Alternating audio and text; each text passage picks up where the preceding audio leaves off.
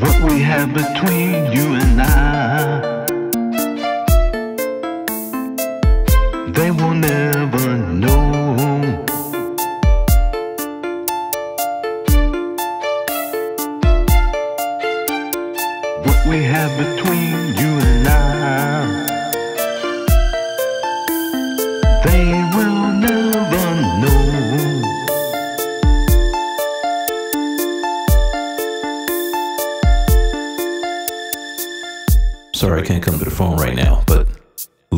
Sexy voicemail.